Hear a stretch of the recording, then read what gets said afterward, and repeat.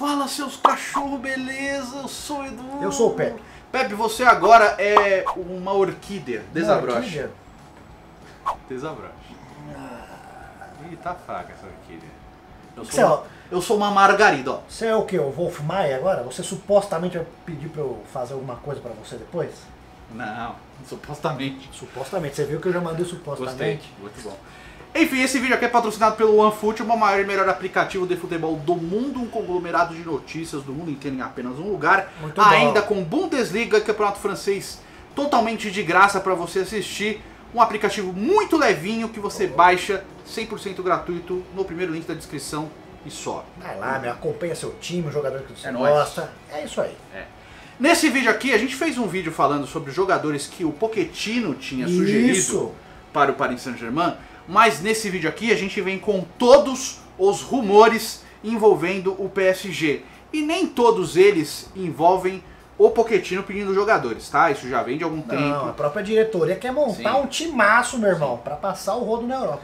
Porque a expectativa da diretoria do PSG, aí eu já vou contra, porque eu sempre achei que o PSG sempre teve esse, esse projeto megalomaníaco de montar o time mais rápido, mais forte possível, no menor tempo possível, pra ganhar tudo agora.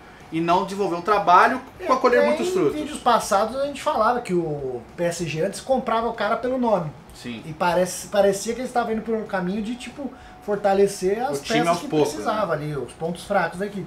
Mas agora Mas, parece vamos que mudou de novo. Parece que já voltou passado aí, né? Por quê? Durante um programa de TV na Espanha chamado É o Chiringuito, Chiringuito.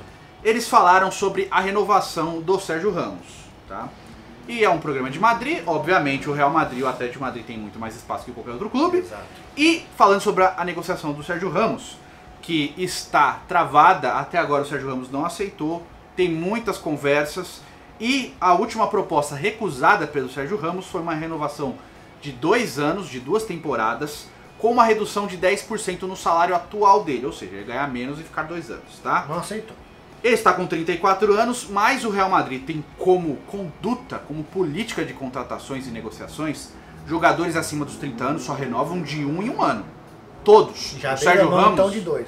seria uma exceção no caso, mas teria que ter essa redução salarial. E o Sérgio Ramos negou essa recis- eh, redução no salário, porque, segundo o El Chiringuito, ele deu uma declaração para o Florentino Pérez que diz o seguinte: o PSG me disse que eles vão montar um timaço comigo e com o Messi. Ou seja, você imagina os PSG chegou, ô, Serginho, vai ter o Messi, Neymar, Mbappé aqui, quer vir aqui? Ou você vai ficar aí? Você vai ganhar mer- merda nenhuma até acabar a carreira. E se você acha que a gente está inventando, eu faço questão que você pesquise os nomes na internet de todos os envolvidos. É o Chiringuito, Sérgio Ramos, é, Florentino Pérez, PSG. Fica à vontade, porque é muito fácil apontar o dedo e falar que gente está inventando, tá? Enfim, como o Messi também está em fase final de contrato, lembrando que o contrato do Sérgio Ramos vence no final da atual temporada, ou seja, em junho ele está livre. Nesse momento ele já se encontra livre para assinar de graça um pré-contrato com qualquer clube, tá? Que pode ser inclusive o Paris Saint-Germain e ou o Tottenham ou Manchester City, que são os três clubes que estão interessados nesse momento, né, declaradamente. O Messi vai seguir pelo mesmo caminho, tá? O Messi está com 33 anos, com o contrato também se encerrando no final da temporada, mas Vai o Barcelona aquela coisa toda, É, quer segurar, etc.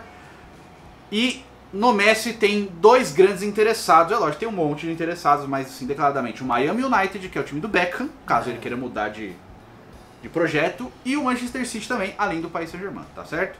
Então são esses três destinos aí também. Como a gente disse, os dois podem assinar o pré-contrato de graça já, eu acho que eles não vão fazer isso agora, vou esperar encerrar o contrato, tá? É porque daí eles podem, tipo, ah, dá uma graninha aí pro Barcelona, só pra falar que não sai de graça. E aí a gente vai falar sobre os jogadores que estão no, no Paris Saint-Germain que eles querem manter. O primeiro deles é o Mozikin, que vem emprestado da Juventus. O Pochettino falou que quer contar com ele, então quer que o PSG contrate o Mozikin, que é um jogador bem jovem, italiano e tal. E o valor de mercado do Mozikin é de 25 milhões de euros. E a Juventus, se eu não me engano, está pedindo 35 milhões para liberar o Mozikin de, de- direto para o Paris Saint-Germain. Ele fica, tá? E os outros, obviamente, Neymar e Mbappé. Pois é. Se você tem esses caras no seu time, você não vai querer perder. Lógico, você vai querer que- renovar, né? Tirei. Isso é um, um cisco. É, é um pelinho, né? Mas enfim. Vou soprar em você, senão eu vou passar coisa. O Mbappé, mesmo que ele não renove, renovasse o contrato, que ele não renove, O contrato dele vai até 2022. Ou seja, ainda tem É. mais um aninho aí. Pra Pois é. O valor de mercado dele, como a gente sabe, é de 180 milhões de euros. E o outro é o Neymar, que também tem é, negócio, contrato até 2022 Mas também. tem aquele bagulho lá que se alguém vir pagar, ele sai. Sim, se ele quiser ir embora, até aquela coisa lá. toda. O valor de mercado do Neymar, se eu não me engano, é 128 milhões de euros no momento, né? É o segundo lugar aí do mundo, né? Só atrás do Mbappé. Contrato também até 2022. O PSG quer renovar o contrato dos dois e contratar alguns desses nomes que a gente vai falar agora. É rumor, tá? Não vai contratar todos, tá, gente? É. São rumores que o povo lá de, Sim. de Paris estão falando que vai acontecer. O futebol aí, É. ó. Gol.com, pode pesquisar em todos É, esses são, lugares, tá? são nomes que saem nos jornais lá de fora. então- Pois é. Então, além do Sérgio Ramos e do Messi, agora imagina um time com o Sérgio Ramos, um time do PSG, com o dos Marquinhos, Sérgio Ramos. Marquinhos, Sérgio Ramos e Messi. Só falta contratar um Sérgio Roberto pra lateral. O Icardi vai vazar, né? Não fica. Sei lá, meu. Pois é. Mas imagina o Messi nesse time, com Mbappé e Sensacional. Neymar. Já pensou? Meu Deus do céu, cara. Meu Deus do céu. Você jogaria quem? Não, não mais pra um centroavante. assim. Pro central, eu jogo com dois atacantes. E o recua mais o, O menino? Messi e o Neymar vão trocando ali, segundo atacante, e o Mbappé ali, ó. É cara bom, dá pra jogar tudo junto. é, né? enfim. O difícil é jogar com o Juan, Everaldo. Vamos para os nomes. Não tá na ordem, tá? A gente só falar. O Marcelo, que também seria uma. Inclusive, o Messi e o Sérgio Ramos seriam grátis. Né? Não é nem pegar o, o tanto do fair play financeiro aí, porque não ia ter investimento Não. de compra de jogador, ia ter só salário. salário, então, são, seriam dois salários super enormes, né? Mas mesmo assim, eu acho que encaixaria dentro da, da política do fair play financeiro. O Marcelo tem um valor de mercado atual de 10 milhões de euros, inclusive a gente falou no outro vídeo sobre ele. E o contrato do Marcelo vence em junho de 2022, tá? Aí temos dois goleiros. Por quê? Porque o Miami United também está interessado no Keylor Navas. Não sei lá. Pra quê? Se ele quiser sair, o PSG tem dois nomes cogitados. Um deles é o Lohri, que está com 34 anos, 12 milhões de euros de valor de mercado e também tem contrato até o tempo final da temporada 2021-2022.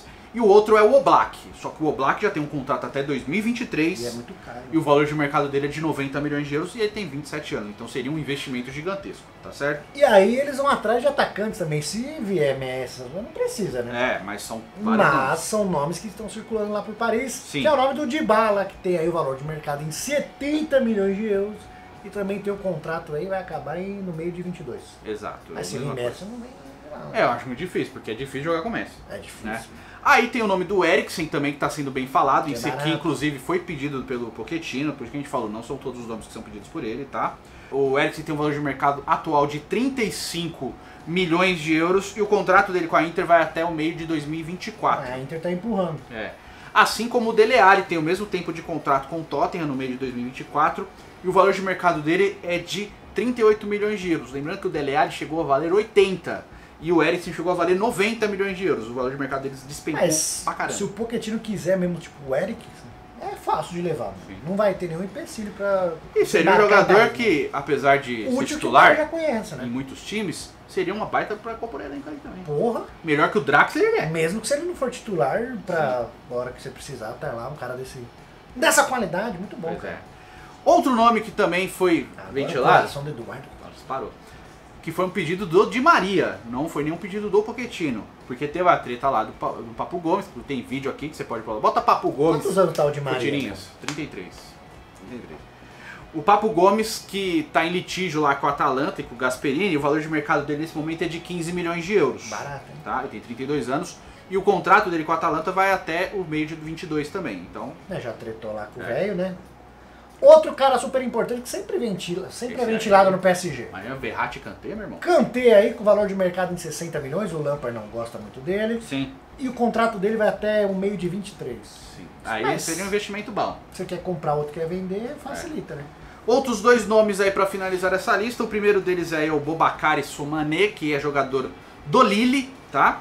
Ele tá um valor de mercado agora de 24 milhões e meio de euros e tem contrato até o meio de 22 também.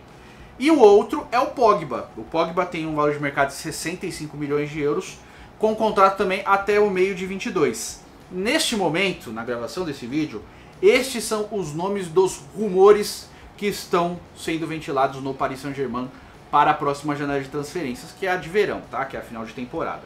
O projeto é ambicioso, a gente não sabe ainda o que vai acontecer entre Paris Saint-Germain e Barcelona, não sabe o que vai acontecer entre Messi e Neymar lá, mas eles são amigos, né, cara? Enfim, alguns deles são pedidos do Pochettino, que é o caso do Marcelo, do Eriksen, do Dele Alli, né, desses aqui que a gente falou. Os caras nem conhecem. Os outros são, é lógico que ele, ele também chegou a falar sobre o Messi, falou, claro que eu Não, gostaria não de ter o Messi, Não, não né? dá o Messi não. Mas enfim, mas os outros são todos rumores, podem acontecer e nem todos são pedidos do Pochettino, mas eu duvido que eles recusariam o Sérgio Ramos do time, né? Não. Mas enfim, eu quero saber a sua opinião, o que que você acha desses aqui, quem que vira, quem que não vira, tá? Comente aí, faz o cucocô. Quer chutar aí quem que você acha que chega? Quem que eu acho que chega? O Papo Gomes, Eriksen. Marcelo, Se ele quiser o Eriksen. eu acho que, é, eu também acho. Marcelo, Eriksen, Papo Gomes, talvez o Kanté. Talvez o Kanté. Ou o Kanté ou o Pogba, um dos dois. Porque o Pogba quer, quer sair também. E acho que o Neymar renova. Não, o Neymar não O Mbappé sai. eu não sei se renova não. E talvez o Messi. Talvez o Messi. Porque a atração pra esses caras do tamanho de Neymar aqui, Mbappé, é Real Madrid e Barcelona. Vou chutar melhor. E se eles vão pra lá agora, é uns dois anos aí, tipo, trabalhando pra construir um time, cara. Vou chutar melhor. Se o PSG passar pelo Barcelona na Champions League, o Messi vai querer ir pro PSG. Eu acho que tá. Se o Barcelona passar, acho que o Messi não vai querer sair do Barcelona. Vamos ver. Só tô chutando. Tá bom? Comente aí, nos vemos no próximo vídeo com Deus e